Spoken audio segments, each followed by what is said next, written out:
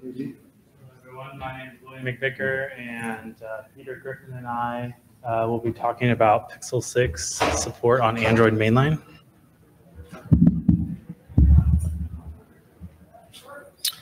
So Pixel 6 has been supported on Android mainline for two years now. And the goal of the project was to increase testing for uh, GKI with a real Android in-market device. This allows us to catch regressions uh, from upstream merges that come into Android mainline before they are propagated to Android vendors. Um, it also increases Android specific testing on real hardware that is uh, used in the market. Um, and since kernel version 5.10 and later, we've been um, using Pixel 6 for testing. So every GKI kernel change that is being made is being tested on Pixel 6 in pre-submit and in post-submit. Um, this also includes all the LTS merges that come in from upstream into the 5.10, 5.15, 6.1, and Android mainline branches. Those are all being tested on Pixel 6. This project also allows for kernel developers who are testing upstream patches from the list uh, to evaluate performance impacts, and it allows them to contribute to the discussion upstream. In addition to all the testing that we've added, um, we're also starting to lay the frameworks for in-market kernel upgrades. We found that you know it's easier to maintain functionality and the performance incrementally for each uh, kernel release than to upgrade from one LTS release to the next. Um, this means that when you're bringing up your device, um, you can focus more on the changes on that specific kernel release instead of focusing on upgrading your drivers from an older LTS version to the LTS version that you want to upgrade to. So I dug up a list of changes that have either landed upstream or are currently being reviewed on the list um, that directly use Pixel 6 with Android mainline to develop and test. So you, you may be familiar with these. Pixel um, has been doing some 16K support. Um, there's VM cpufreq, proxy execution, a lot of PKVM development um, userfaultfd move operation, binder development, uh, in particular the new Rust implementation for binder, uh, multi-gen LRU, all these have leveraged the work that we have been doing to support Pixel 6 on the Android. One of the reasons you may pick Pixel 6 over the available AOSP development boards out there is um, that they lack certain hardware features that uh, you find on real phones. Um, in particular, you can test on an in-market device that has you know, a phone form factor. This means you can do thermal testing, performance testing of workloads that real users will be seen in the field. And uh, we've been incrementally adding um, documentation that um, for this project. So you can now find um, at this first link um, the steps to build the Pixel kernel um, with the latest Android uh, mainline, um, as well as the second link is the link to download the source code. So now I'm going to hand this off to Peter, and he's going to talk a little bit more.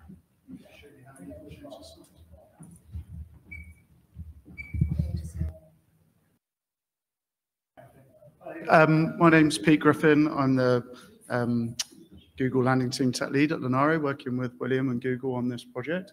Um, so the chart on the right there, uh, it shows the lag between when a Linux release is made by Linus Torvalds, and then uh, the blue the blue bars are how long it takes that to get merged into Android mainline. So you can see like typically it's like a day or a couple of days. Uh, and that means at that point, uh, that's running on Pixel 6 and all the drivers have been updated.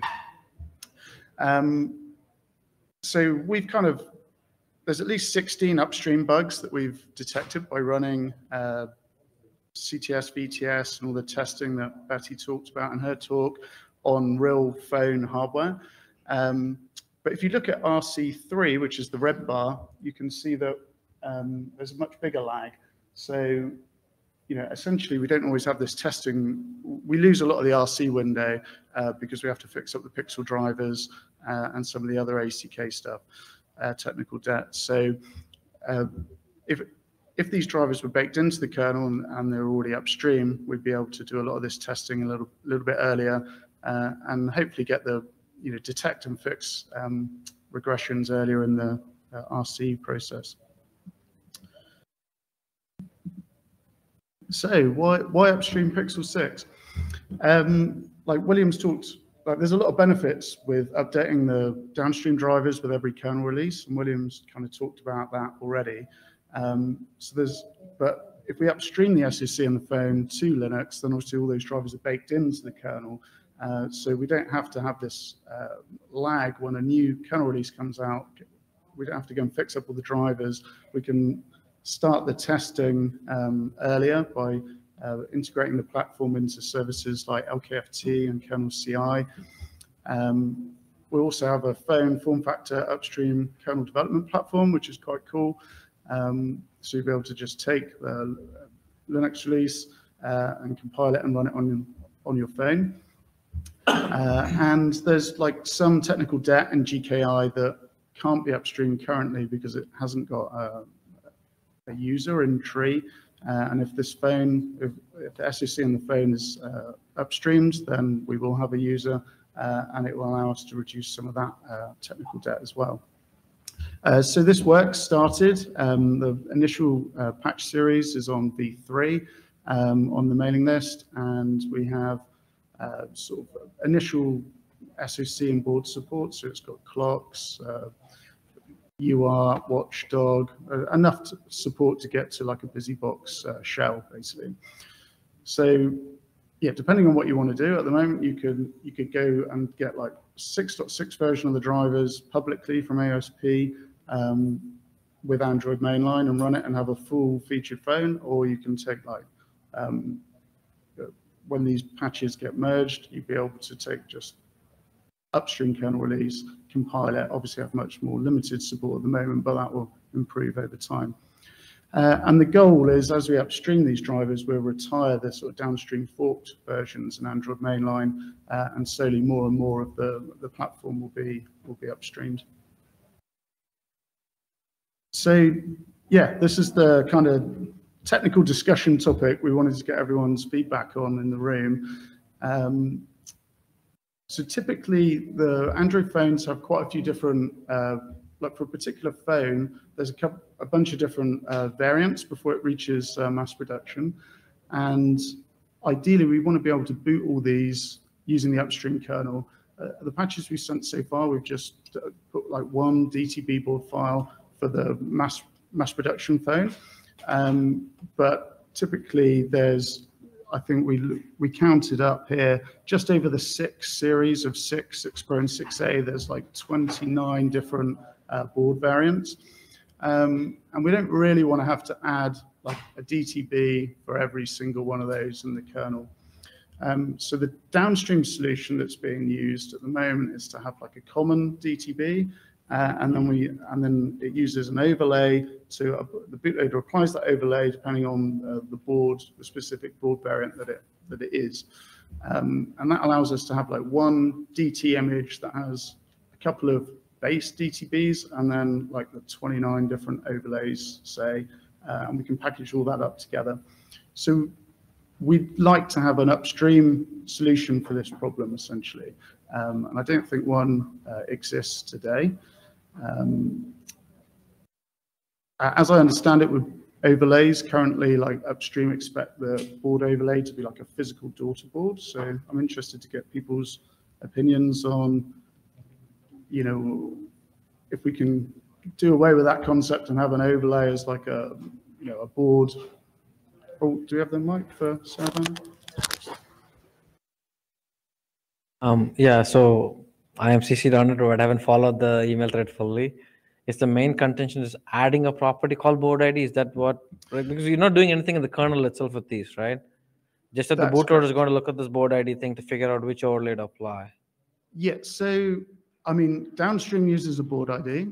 Um, and I know like there's some upstream Qualcomm platforms that use a board ID and a MSM ID. Um, but the, the key feature is we want to be able to apply overlays to a common board DTB. But whether you want to enable the bootloader to apply the overlay, even for an upstream kernel. That's what you're trying to do, right? Sorry, say that again? You're trying to enable the bootloader to apply the overlay. Yes, And to enable it, you need to have this board ID property. yes. And that's the part you're trying to get. Okay. So yeah, I'm looking to get the room's feedback on uh, overlays um, to support You have a question in the variants. chat. If you check the chat on the left-hand side, there's a Oh. question for you. Uh, well, Is there not? can you show me? Yeah, maybe somebody. Yep. Um, Sumit, do you want to read it out? Oh, Uh, okay. So Trilok says uh, overlays we do are the DTB plus DTBO uh, and DTBO plus DTBO uh, at compile time in Q- QC. DTBO plus DTBO is not supported upstream through DTC. So QC uses the board ID plus MSM ID and overlays gets complex. So compile time is better due to boot time constraints. I would not prefer the boot time resolutions. That's from Trilok at Qualcomm.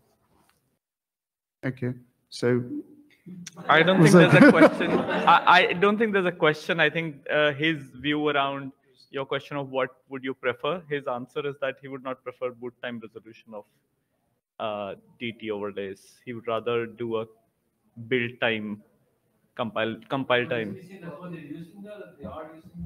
Yeah.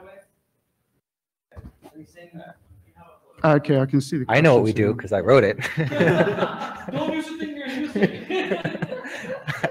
um, no, we, we, we do a, a build time check to make sure that the overlay actually applies to the DTB.